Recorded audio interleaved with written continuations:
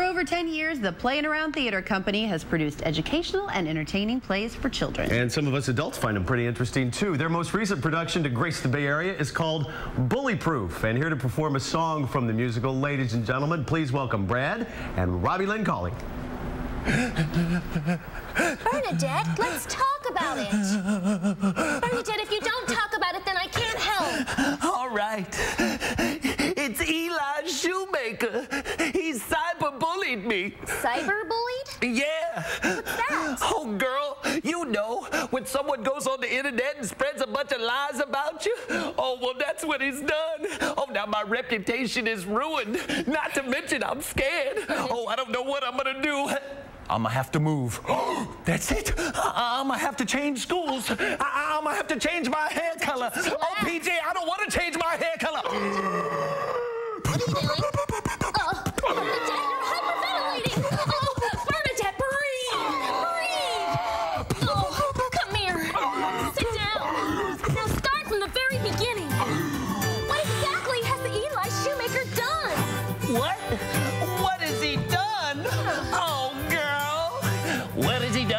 Done? And told everyone a bunch of lies that just aren't true.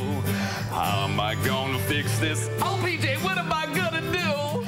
I'm sure you're overreacting. No. And I hate to see you so sad. Bernadette, take a few deep breaths. You'll see things are not that bad. Oh, but why do you have to cyberbully me? Bernadette. Why can't he let me just be me?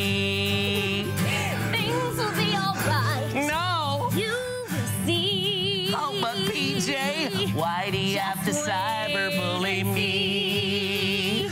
Now he's gone and said things he shouldn't, and he's made my life a mess. And I can forget about going to big dance, and Mama's already bought my dress. Bernadette, just relax. Oh. I'm sure everything's alright. It's not. Look on the bright side. Maybe no one was online last night. What? Why do you have to cyberbully me? Why can't he just be me? Things will be alright. No. You will see. Oh, but PJ, why do you have to cyberbully me? Why do you have to cyberbully me?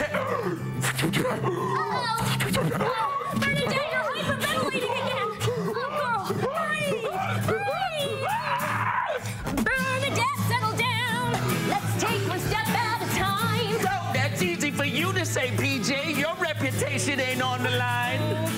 Why do you have to cyberbully me? Why can't he let me just be me? Things will be alright. No. You will see. Oh, but PJ, why do you have to cyberbully me? Why do you have to cyberbully me?